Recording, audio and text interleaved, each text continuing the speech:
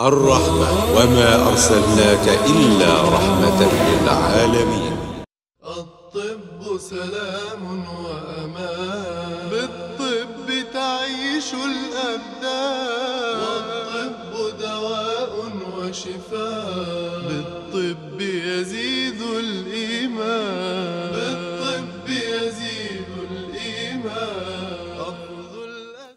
بسم الله الرحمن الرحيم. الحمد لله والصلاة والسلام على رسول الله سيدنا محمد وعلى آله وصحبه ومن والاه. أحبائي في الله لقاء جديد وحلقة جديدة مع الطب الآمن. حلقة النهاردة أيها الأحبة في الله تتناول موضوع في غاية الأهمية وهو العلاج الطبيعي مفاهيم ينبغي أن تصحح. العلاج الطبيعي ناس كتير لما بتيجي في البداية بنحاول نفكر يعني إيه علاج طبيعي؟ بعض الناس في يعني في أذهانهم مفهوم عن العلاج الطبيعي مفاهيم قديمة. يعني يقول لك ترتبط المفاهيم آه، بالحمامات الشعبية ترتبط المفاهيم بالتدليك اليدوي ترتبط المفاهيم في صورة ذهنية خاطئة في عقول كثير من الناس. وإحنا يعني نقول مع التقدم وازدهار هذا المجال ينبغي إن إحنا نصحح هذه المفاهيم. يعني في البداية كل علم لابد أن يعرف. وقبل ما نعرف هذا العلم نسأل أنفسنا كل مشاهد ومشاهدة الآن يسأل. سمعوا كلمة علاج طبيعي حد فيهم أو من أفراد الأسرة خد علاج طبيعي عمل جلسات علاج طبيعي. نبدأ كده نستحضر الصورة. إيه شكل عيادة العلاج الطبيعي أو مركز العلاج الطبيعي أو قسم العلاج الطبيعي اللي في مستشفى؟ أو مركز التأهيل اللي فيه وحدة علاج طبيعي آه، هل العلاج الطبيعي مرتبط بالجبائر والأطراف الصناعية؟ هل مرتبط بس بالكهرباء؟ مرتبط باللي ماشي على كرسي متحرك أو بعكاز؟ هل العلاج الطبيعي للناس اللي عندهم إصابات في المفاصل فقط أو اللي عندهم آه، إصابات في الجهاز العصبي زي الشلل؟ ولا في مفاهيم أخرى للعلاج الطبيعي آه، للجراحة قبل وبعد الجراحة؟ العلاج الطبيعي لصحة المرأة والطفل العلاج الطبيعي لامراض البطنة والقلب والأمراض الرئوية والتنفس هو ده المفهوم الأعم. يبقى لما نيجي كده نفكر هنجد فعلا حد من الأسرة حد من العيلة حد من الجيران أو إحنا أنفسنا اتعرضنا لبعض الإصابات وبعض المشاكل في حياتنا خلتنا نتعرف على العلاج الطبيعي عن قرب عن طريق دكتور العلاج الطبيعي اللي بيدي جلسة هذه الجلسة بتعيد للمريض الابتسامة بعد ما يكون فقدها نتيجة ضعف في عضلة أو تيبس في مفصل أو عدم قدرة على المشي كان بيمشي ما بقاش قادر يمشي أو طفل جاله إعاقة إعاقة نتيجة نقص أكسجين عند الولادة نتيجة ملخ دراع عند الولادة خلع في مفصل الفخذ عند الولادة. الطفل ما مشيش خالص. بيجي الطفل بنقول له لا أنت محتاج جلسات. بنقول لأسرته تداوموا على الجلسات عشان ما يحصلش ما يعرف بالمضاعفات نتيجة الإهمال. والإهمال في مجال العلاج الطبيعي ما يهمل المريض للأسف الشديد بتبقى النتائج بعد كده كل تعديل أو تصليح لازم بجراحة وأحيانا الجراحات ما بتفيدش في هذا المجال. أما نيجي نشوف المريض دلوقتي ونتكلم عن العلاج الطبيعي كمفاهيم بنقول هو استخدام وسائل علاجية يعني تعريف وحتى لما بنقول الكلام ده للطلبة عندنا في الكلية بنقول العلاج الطبيعي هو استخدام وسائل علاجية سهلة ميسرة من البيئة. يعني ما يجيش تقول واحد يقول أنا لازم أشتري أجهزة معقدة في التركيب وغالية في الثمن. نقول لا ده يخالف مفهوم العلاج الطبيعي الأصلي. المفهوم الأصيل في العلاج الطبيعي وإحنا بنستخدم وسائل من البيئة سهلة. تبدأ الوسائل دي بأهم وسيلة علاج طبيعي عرفها الإنسان لغاية دلوقتي وهي اليد. إيد الإنسان إيد المعالج. لذلك أنا بشجع كل دارس عندي اوعى يعني نقول النظام العلاجي اللي يقول لك إيه آه نظام العلاج عن بعد. يعني إيه المريض تعبان حطه تحت لمبة اللمبة تسخن خلاص يا حاج امشي مع السلامة. لا كده ده مش علاج. العلاج لابد استخدام اليد. اولا في الفحص وإحنا بنقيم الحالة ثانيا في العلاج. بنقول أهم وسيلة هي اليد تليها استخدام الماء في العلاج. واستخدام الماء إحنا بنشوف كتير حمامات حلوان الكبريتية نشوف عيون موسى نشوف في عيون كثيرة يمكن في مصر. ممكن استخدام المياه الكبريتية كعلاج. ممكن استخدام درجة الحرارة ممكن درجة حرارة باردة درجة حرارة دافية درجة حرارة سخنة. أو استخدام تيارات الماء داخل أحواض خاصة. المريض بنقعده في حوض معين ويبدأ تيار من المية بيطلع عن طريق مواسير بتدفع المية بشكل تعمل تحريك للدورة الدموية تحسين ل- للقدرة العضلية ت- بتخلي العضلة تسترخي العضلة اللي شادة يبقى ده أسلوب من أساليب العلاج.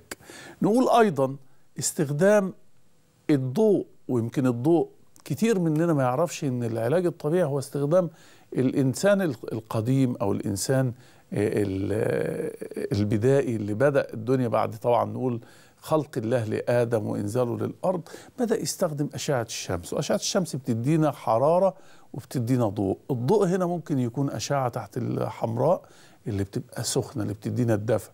ممكن أشعة اللي بنسميها الأشعة اللطيفة الأشعة اللي هي فوق بنفسجية اللي بتكون في الصباح الباكر أو في المساء قبل الغروب مباشرة.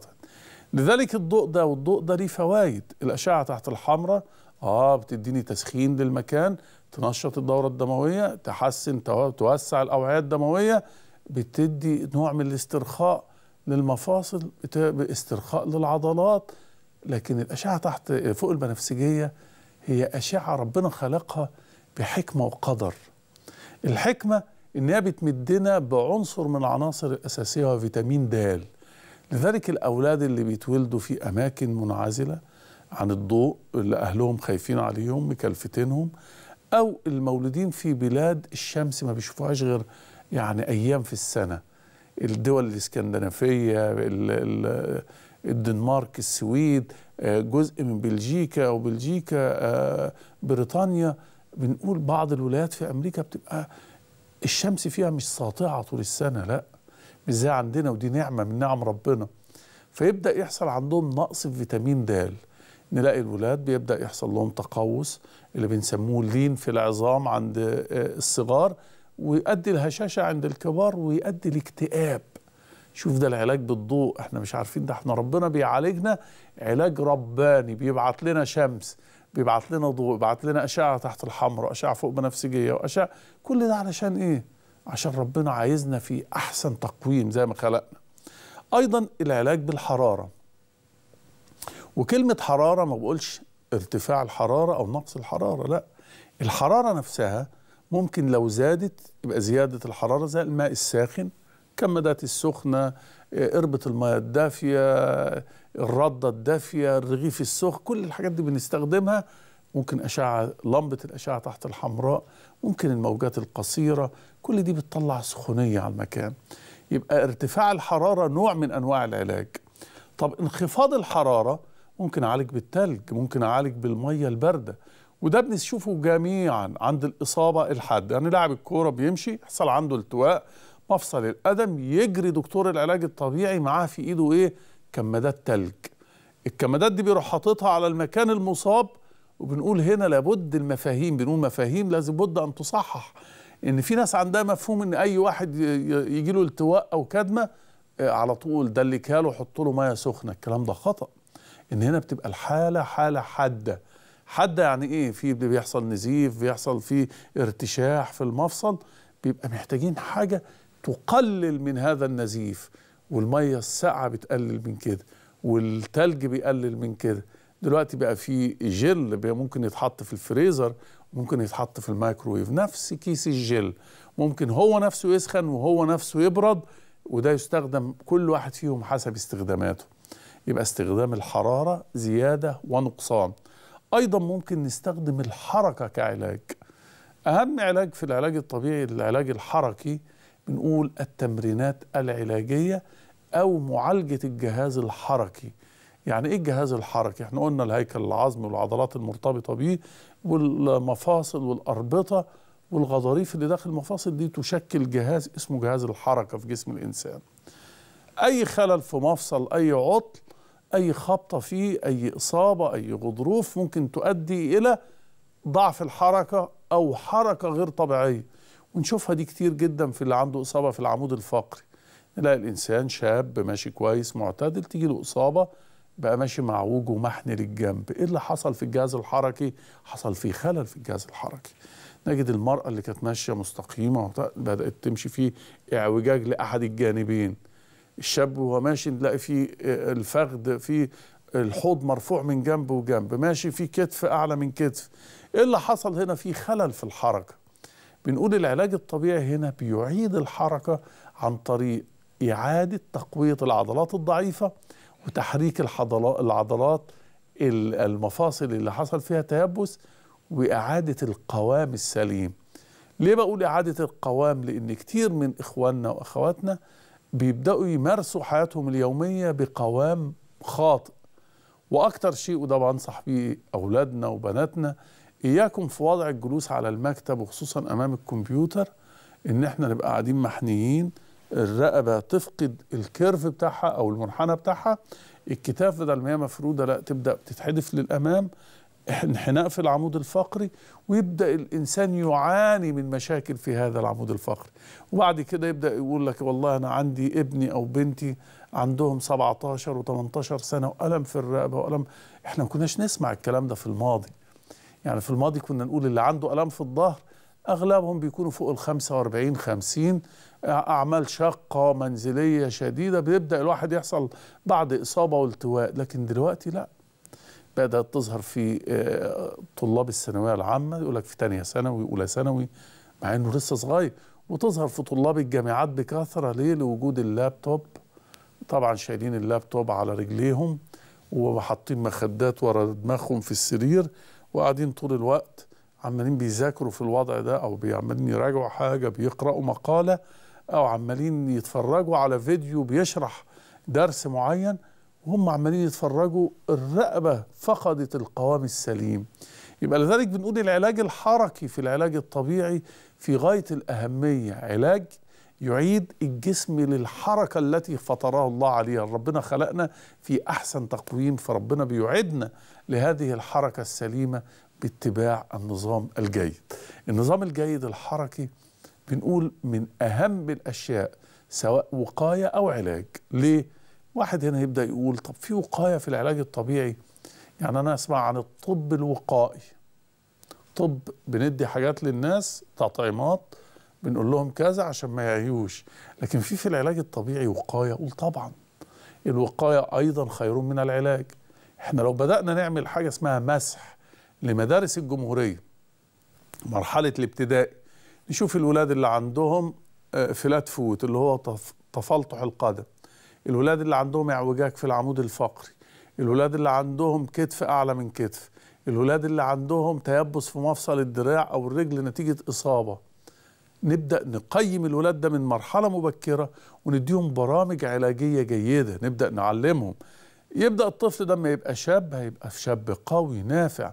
ما يبقاش شاب ضعيف ومريض وفي بداية حياته عمال يقول لك أنا مش قادر أمارس آه، الأعمال الفلانية أنا عايز عمل مخفف وهو لسه في ريعان الشباب. لا. أيضا بنقول الفتيات المقبلات على الزواج في علاج طبيعي وقائي إيه هو العلاج الطبيعي الوقائي؟ إن إحنا نحرص على مقياس كتلة الجسم عندها. كثير من البنات عندهم نحافة مفرطة. نحافة مفرطة يعني إيه؟ يعني غير والوزن مش متناسب مع الطول مش متناسب مع السن وتلاقيها مقبلة على الزواج. والوالدين يعني نقول ما ما بيبذلوش الجهد الكافي علشان يزودوا وزن ال- الفتاة في هذه المرحلة اللي هي بعد سنوات قليلة هتصبح أم وهتصبح آه، مرأة حامل وفي طفل بيعيش بيعتمد على الغذاء منها. فإذا كانت هي ضعيفة جدا وعندها أنيميا ووزنها قليل ومفيش عضلات أما تيجي إزاي هتقدر تجد المعاناة الشديدة أثناء الحمل؟ يقولوا لها لا ده انت لازم هتنامي وتنامي طول فترة الحمل القيء والترجيع ومش قادرة تاكل. كل ده بنقول طب ما إحنا ممكن نتداركه بأشياء بسيطة. حساب كتلة الجسم ده أمر سهل. يمكن أنا حاطط عامل مع... عامل معادلة على الموقع عندي. بقول حط وزنك في الخانة دي وحط طولك. يطلع لك أنت نحيف ولا أنت متوسط الوزن ولا أنت بدين ولا شديد البدانة ولا إيه الموضوع؟ عشان تبدأ تعالج الموضوع ده. نفس القصة بنقولها بنقول في العلاج الطبيعي الوقائي بالنسبة للأوزان الكبيرة جدا. تلاقي برضو نفس الفتاة المقبلة على الزواج أو في مرحلة 18 20 سنة وبدأ وزنها يزداد بإفراط. طبعا السمنة ليها علاقة وطيدة بصحة المرأة إن كثير من البدينات نحصل عندهم تأخر في الحمل. ليه؟ لأن بيكون عندها يحصل لها تكيسات على المبيض نتيجة الوزن الزيادة.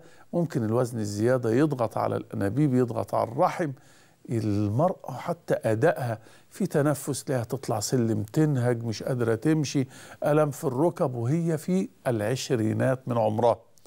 فبنقول العلاج الطبيعي الوقائي إن إحنا نلاحظ الوزن ونحاول ندي برامج علاجية سواء في الجانب الغذائي نقول لا التغذية نبتعد عن السكريات شوية إن هي اللي بتتعب وعن المخبوزات النشويات ونبدأ نهتم بالألياف زي الخضروات والفواكه واللحوم والبروتين عشان دول اللي بيبنوا الأنسجة العضلية.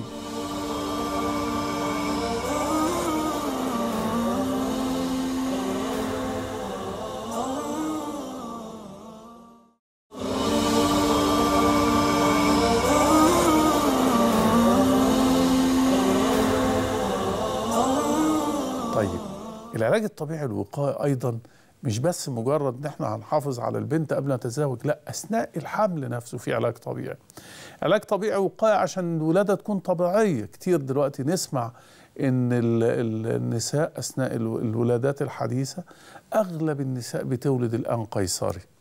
طب إيه التحول الكبير اللي حدث؟ كانت كل يعني في جيلنا وجيل آه، آبائنا كان نادرا ما المرأة تولد قيصري. إيه اللي بيحدث؟ بيحدث إن كانت المرأة ف- قديما اللي هم أمهاتنا وجداتنا عماتنا خالاتنا كانوا بيتحركوا. كانت أثناء الحمل ليها نظام عندها مجهود. يقول لك دي بتطلع الغيط لغايه الأسبوع الأخير من الحمل. نسمع الكلام ده على الأجداد. طب إيه اللي بيحصل دلوقتي؟ لا ده دلوقتي المرأة دخلت في ما يعرف بثقافة الريموت كنترول. قاعدة ما بتتحركش بتعمل في أكل دسم جدا حلويات في البيت وبنقول بقى في كل بيت الآن حلواني وهي المرأة ست البيت أو لو في بنات كبار ليهم البنات عمالين هم يعملوا الحلوى. فبتبدا تاكل الوزن يزداد قلة الحركة. فحركة الجنين بتبقى قليلة في في الرحم. ما بقتش تتحرك ما بقاش ياخد وضعه الطبيعي أثناء الولادة. ما بقاش الموضوع المية المحيطة بيه تلاقيها قليلة الحركة بتاعته قليلة.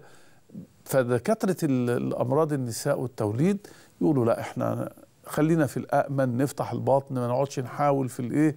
في الولادة الطبيعية. يبقى في علاج طبيعي وقائي.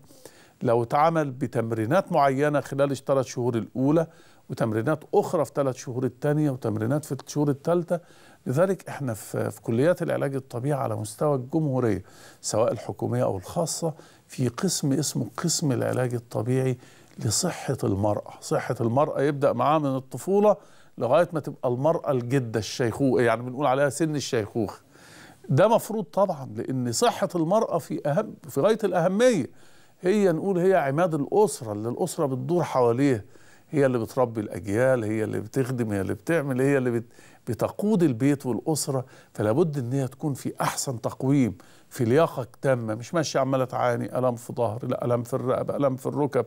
ده بالنسبة للجهاز العضلي. لا ده عندي مش عارف إيه تدهن على الكبد عندي حصوة في المرارة عندي الله الله. إحنا طبعا نسأل الله سبحانه وتعالى أن يشفي كل أمهات المسلمين وأن يعفو عنهم. ولكن بنقول المؤمن القوي خير وأحب عند الله من المؤمن الضعيف. أما بنقول العلاج الطبيعي وقاية مش للولادة بس ده بعد الولادة للجنين اللي هو الطفل اللي هيتولد حديث الولادة. حديث الولادة ده إحنا محتاجين العلاج الطبيعي بيشوف تطوره الحركي تطوره الوظيفي. المفروض الطفل بيبدأ بيمر بمراحل تطور بيتقلب في ش... بعد الشهر الكام بيقعد في الشهر الكام بيبدأ يقف في الشهر الكام بيحبو آه، يبدأ على إيده ورجليه السحف بيبدأ. طب لو حدث تأخر هنا مش دكتور الأطفال بس المسؤول لا دكتور العلاج الطبيعي هنا المفروض بيقيم الأداء الحركي للطفل. يقول آه لا ده فيها هو السبب هنا. نبدأ نشوف الوعي والإدراك عند الطفل. الطفل يبدأ ينمو عنده الوعي والإدراك بعدين ينمو عنده المناغاه اللي هو يبدأ يغا غا غا عشان دي هي بداية الكلام. للطفل كتير الأسرة ما تاخدش بالها ويبدأ الطفل يكبر عنده سنتين وثلاثه وتقول لك ما بيقولش غير كلمة ماما وبابا. الله طب إحنا كنا غفلانين فين الثلاث سنوات الماضيه الماضية الثلاث سنوات اللي إحنا عمالين مش ملاحظ لأن ما فيش ما يعرف بالعلاج الطبيعي الوقائي إنه يبدأ يلتقط الخيط يشوف إيه المشكلة ويبدأ يحدد لها الوظيفة والعلاج. يبدأ مع مرحلة تطور الطفل واللعب وال... الطفل ده ممكن يتخبط الطفل ممكن هو بيلعب في ال... في ال... مع أخواته. هنا بيبقى في وقاية إن إحنا ممكن نديله تمرينات وقائية تقوي عضلاته وتعمل مرونة في مفاصله. كتير من الأطفال بقى عندهم مرونة جيدة جدا بعد الولادة. تبدا المرونة دي تقل لأن ما بنستخدمش المفاصل الاستخدام الأمثل. يبدأ بعد كده يتيبس بعد شوية يحصل قصر في عضلة الفخذ الخلفية يقول لك والله أنا ما بقدرش ألمس الأرض وهو لسه عنده 11 و12 سنة. طب إيه ده؟ قصرت إزاي العضلة دي؟ يقول لك أصل ما بقتش إيه آه ما بعملش تمرينات ما بروحش نادي.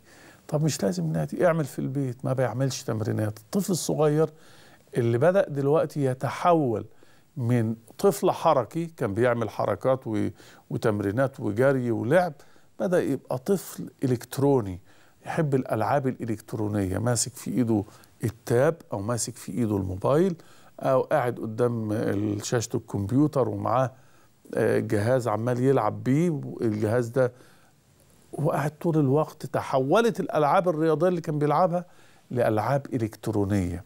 بنقول هنا في هذه المرحلة نقول لابد يبقى في عندنا علاج طبيعي وقائي يبدأ مع الطفل يعلمه لغاية ما يبدأ سن المدرسة. وتبدأ التمرينات اللي كنا بناخدها زمان. كان في مدرس التربية الرياضية اللي بيحول الطفل من الطفل الطبيعي لطفل. مش بنقول مش علاج طبيعي ده ده بيحوله لطفل رياضي. طابور الصباح اللي كنا بن... لازم نحرص ويبقى أحسن من الحصة. مفيش حد يجي من بره يخش على الحصة. لا طابور الصباح ده في غاية الأهمية. وكان معانا مدرسين يؤدوا التمارين معانا في الصف. يبقى واقف الصبح ربع ساعة نص ساعة عمال يعمل تمرينات تمرينات الصباح. المدرسة كلها بتشتغل التمرينات. يا ريت نرجع لهذا إن ده من الأشياء اللي افتقدناها كتير. دلوقتي الطابور الولاد واقفين ثابتين وعمالين نقرأ لهم بعض الأخبار وبعض المعلومات ودور الطابور على الفصل. لا الكلام ده مش هو الصحيح. المفروض الطابور أساسا إن إحنا نعمل بعض التمارين اللي هننشط بيها أجسام الأطفال ونعمل تمرينات للذراعين وتمرينات للرجلين وخطوة تنظيم. ويبدأ الطفل وهو طالع الفصل طالع نشيط. عمل تمرينات وإن العقل السليم في الجسم السليم. دلوقتي لا أولادنا قاعدين واقفين في المدارس وأنا بتكلم الكلام ده وإحنا على مشارف بداية عام دراسي جديد. بنقول العلاج الطبيعي مش بس الوسائل اللي قلناها في استخدام تقنيات جديدة. وهنا التقنيات الحديثة في غاية الأهمية في العلاج الطبيعي.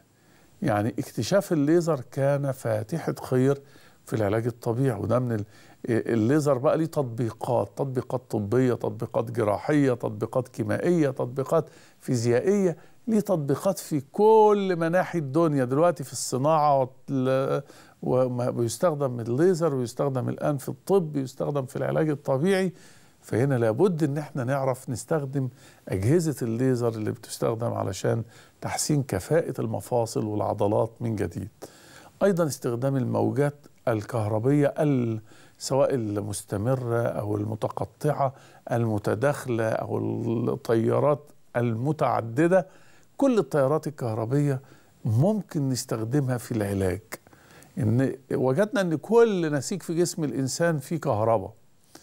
فنجد إن القلب فيه كهرباء العضلة فيها كهرباء العصب فيه كهرباء إن الخلية نفسها فيها كهرباء فالكهرباء دي ممكن باجهزه معينة بننبه الخلايا العضلية نخلي العضلة تنقبض وتنبسط لغاية لما العصب يرجع لو في إصابة نخلي العصب يشتغل لو العصب فيه خمول أو ضعف ولذلك دلوقتي التنبيهات الكهربائية بقت أجهزة كثيرة جدا ومتعددة وموجات بأشكال وألوان مفيدة جدا في العلاج الطبيعي. العلاج الطبيعي أيضا مش مجرد استخدام الأجهزة دي لا استخدام ما يسمى بالميكانيكا الحركية. يعني إيه ميكانيكا حركية؟ الميكانيكا الحركية أو الميكانيكا العضوية آه يعني دي من الأشياء اللي العالم كله الآن ملتفت ليها. إن أنا أقول أحصل على أحسن كفاءة للزراع في الوضع الفلاني. أحصل على أحسن كفاءة للعمود الفقري في الظهر في الوضع الكذا. دي بدأت تستخدم في إيه؟ صناع الأثاث. بدأوا يقولوا طب أفضل كرسي يريح عظمة الفخذ ومفصل الركبة ويريح الذراعين يبقى شكله إزاي؟ فبدأوا يعملوا أقسام تسمى أقسام ال ergonomics ال ergonomics دي إيه؟ بتشوف كل جهاز يتناسب مع الوظيفة والحركة. واللي بدأوها دول مصانع السيارات. يقولوا تعالى لما نيجي نعمل سيارة الكرسي بتاع العربية يبقى مريح إزاي؟ الواحد بيقعد أحيانا في كرسي سيارته وخصوصا السائقين خمس وسبع وثمان ساعات في اليوم. طب ده لو قاعد في كرسي متعب وكرسي محني وكرسي ما يعني ناشف ومش ممكن يجيب له أمراض متعددة. نقول هذا الإنسان لو قعد في كرسي مريح وثير آه، فيه زوايا أقدر أعدلها للخلف والأمام للجنب أقدر إن أنا يكون في متكأ لدراعي إن أضع يدي عليه وأنا وأنا سايق. ممكن أخلي القدمين وضع ال- الفرامل والدبرياش ال- البنزين اللي هو ال- الكفات اللي تحت ليها شكل معين. مين اللي بيوضع هذه الأشكال؟ مش مهندس لا ده دكتور علاج طبيعي. ليه؟ إنه دارس الميكانيكا الحركية. دارس كل مفصل بيكون إزاي. فيبدأ يقول الكرسي لو اتعمل بالشكل الفلاني ويعمل تجارب تجارب على ألف آه، سائق ألفين سائق لغاية ما يوصل في النهاية النتيجة. النتيجة دي بتقول إن وضع الكرسي بالشكل الفلاني هو وضع جيد. بدأت تدخل التكنولوجيا الحديثة جدا اللي إحنا بنسميها النانو تكنولوجي يعني إيه؟ التكنولوجيا النانو اللي هي الدقيقة جدا في مجال العلاج الطبيعي. بدأت تخش عشان تعوض الإنسان المصاب بشلل نصفي. إنه إزاي يقدر يقف ويمشي تاني. ويمكن يعني قلنا من علمائنا في في الولايات المتحدة العلماء المصريين في العلاج الطبيعي قدروا يطوروا أجهزة تنبيه كهربي حركي لل- للمفاصل للعضلات خلت المريض اللي عنده شلل نصفي إنه يبدأ يمشي بمساعدة أشياء بسيطة جدا. ده حتى قدروا يعملوا حاجة بيسموها حساس بسيط جدا بالرقبة. الراجل اللي عنده شلل رباعي ممكن يقود الكرسي المتحرك اللي كان ما بيقدرش يقوده. إلا واحد عنده ذراعين هيزق الكرسي ويتحرك بيهم لا ده ممكن بحركة الرأس. عملوا دلوقتي حساسات أخرى بحركة العين. يعني يعمل بعينه كده يبدأ الكرسي يتحرك عينه كده يروح يمين عينه.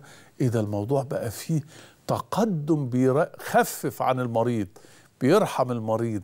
بيقلل عبء الوالدين وعبء الأسرة وعبء الأهل والأقارب من إن إحنا آه، نزق كرسي ونحرك ويبقى في المسألة فيها. بنقول المسألة دي محتاجة الان تطور ومحتاجة يعني نقول دعم كبير جدا من المؤسسات آه، سواء الحكومية أو الأهلية لكليات العلاج الطبيعي علشان الأبحاث تنتشر والاكتشافات تزيد ونخفف المعاناة عن المرضى. المرضى اللي بيعانوا الآن. بنقول أيضا العلاج الطبيعي للحروق. ناس كتير يقول لك أنا العلاج الطبيعي هيعمل إيه الواحد محروق؟ لا إحنا عندنا مشكلة كبرى لو المحروق ده في الوضع الحرق سيبناه في وضع خاطئ. بيحصل كما بنشوف كتير جدا عافانا الله وإياكم من عذاب الحريق سواء في الدنيا أو الآخرة. نسأل الله سبحانه وتعالى أن يرفع وأن يشفي وأن يعافي وأن يجازي خيرا كل من ابتلي بحرق إنه يكافئه بالجنة. إن ربنا سبحانه وتعالى ما يجمعش عليه نارين نار في الدنيا ونار في الآخرة. بنقول أحيانا المحروق ده الجلد وهو بيلتئم بيلتئم في أوضاع قد تكون مشوهة. يعني دكتور العلاج الطبيعي بيكون عارف عارف إن مفصل الكوع محتاجين منه تانية قد إيه عشان يوصل للفم تانية قد إيه عشان يوصل للشعر عشان أسرحه عشان فرشة السنان عشان الأذن. بنقول كل هذه الحركات اللي إحنا بنعملها وبنأديها بنأديها عشان نقول نأدي أحسن وظيفة. أحيانا الحرق الموجود بيكون فيه مشكلة كبيرة جدا. مريض اتحرق وكوعه الجلد قفل في هذا الوضع خلى الجلد مش قادر يتفرد. فنقول هنا كان العلاج الطبيعي المبكر وهو لسه الحروق موجودة يبدأ يخلي المريض يعمل تمرينات في حدود الألم المتاح.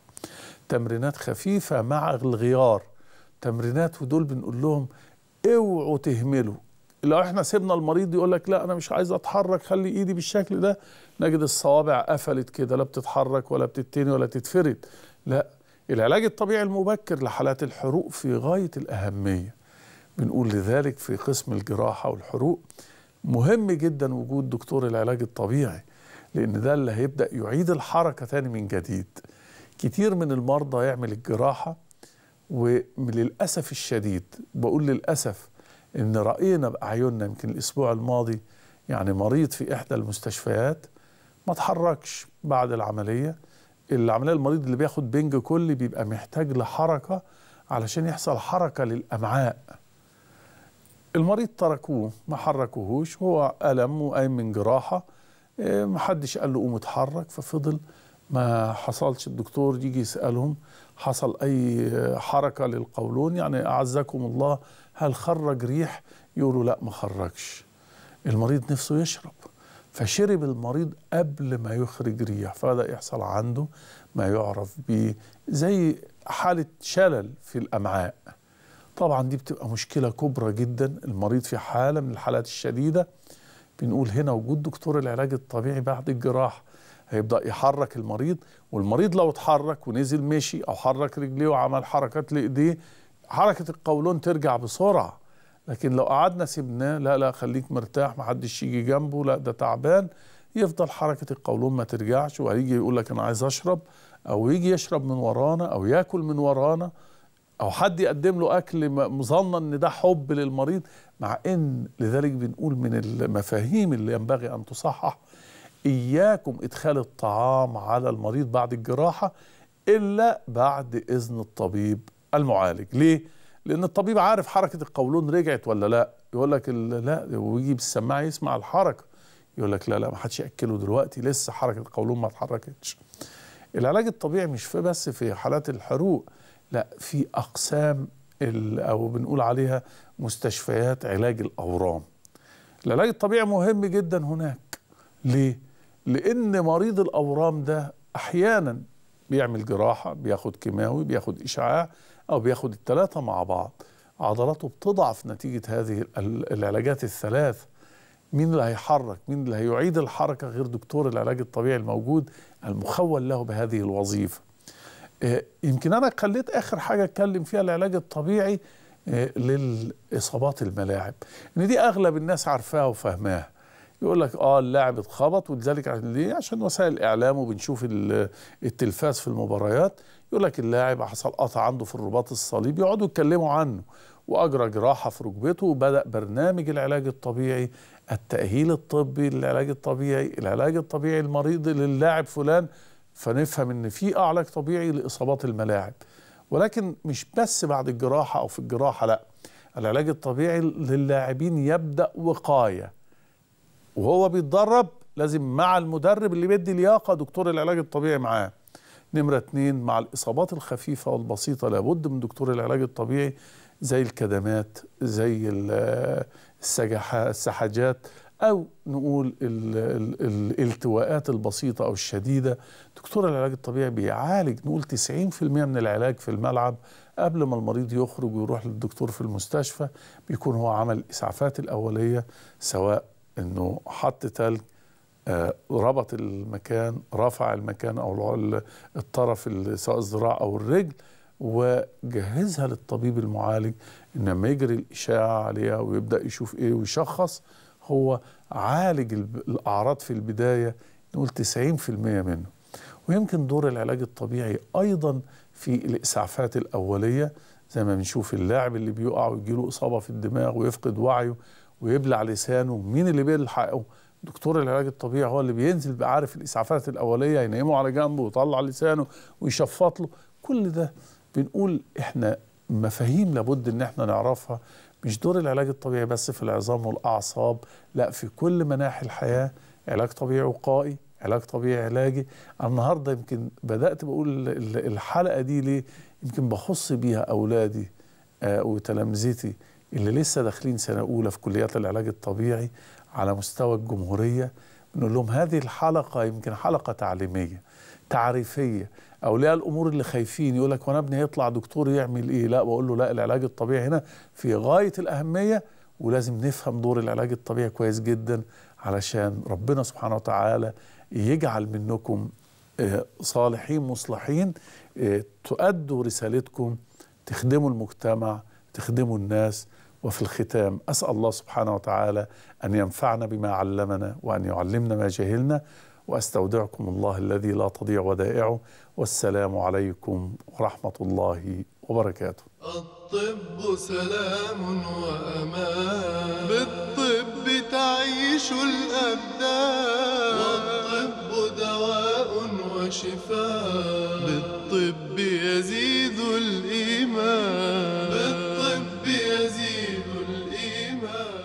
الرحمة وما أرسلناك إلا رحمة للعالمين.